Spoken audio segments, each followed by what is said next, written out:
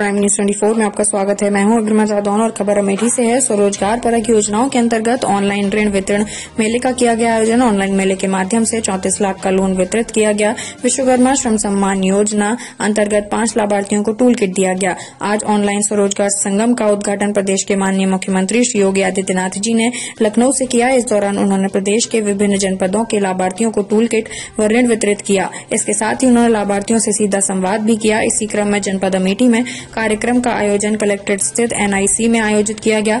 इस दौरान मौजूद लाभार्थियों को माननीय मुख्यमंत्री जी के कार्यक्रम का लाइव प्रसारण भी दिखाया गया।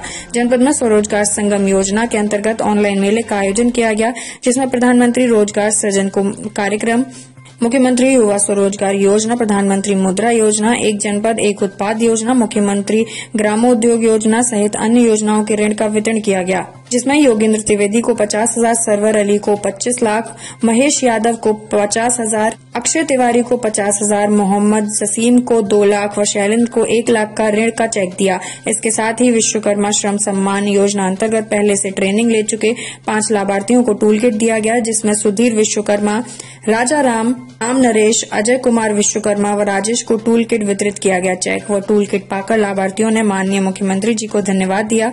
इस अवसर पर छोटे उद्यमियों को बढ़ावा देने के लिए प्रदेश सरकार द्वारा निरंतर योजनाएँ संचालित कर उन्हें लाभान्वित किया जा रहा है। इस अवसर पर मुख्य विकास अधिकारी डॉक्टर अंकुर लाठर उपाध्यक्ष उपायुक्त उद्योग, जिला उद्योग केंद्र अनुप श्रीवास्तव सहित लाभार्थी मौजूद रहे। प्राइम न्यूज़ ट्वेंटी के लिए अमेठी से ब्यूरो चीफ अनिल दुबे के साथ कौन मदार की रिपोर्ट?